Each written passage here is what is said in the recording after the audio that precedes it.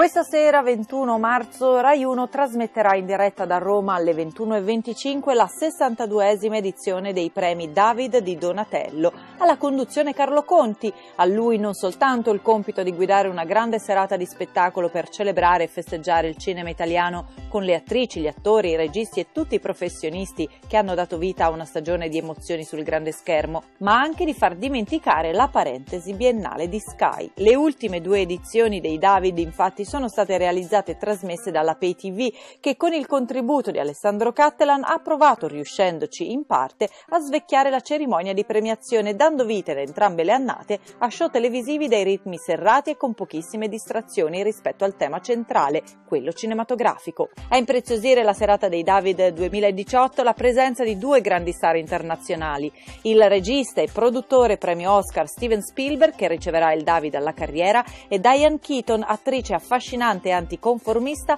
anche lei premio Oscar, cui è stato assegnato un David speciale. Sul palco salirà anche una protagonista femminile assoluta del cinema italiano e internazionale come Stefania Sandrelli, alla quale sarà consegnato un David speciale. Oltre agli ospiti cinematografici previsti come Pierfrancesco Favino, Roberto Bolle, Luca Zingaretti, Nino Frassica e Beppe Fiorello, ci saranno anche esponenti del mondo della canzone italiana come Giorgia, Carmen Consoli e Malika Yan, che renderanno un loro personalissimo omaggio al cinema italiano eseguendo live le canzoni originali di alcuni grandi film del passato. 27 i film candidati a ricevere il prestigioso premio. Tra questi, quelli che hanno ricevuto il maggior numero di candidature sono Amore e Malavita con 15, Napoli Velata con 11, La Tenerezza, Nico 1988 e The Place con 8.